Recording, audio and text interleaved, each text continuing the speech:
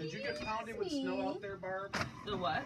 You wouldn't believe. Oh yeah, we were a blizzard yesterday morning again. monkey. I supposed to Watch got the out. reefs, and it was like 60 something degrees last week. So that means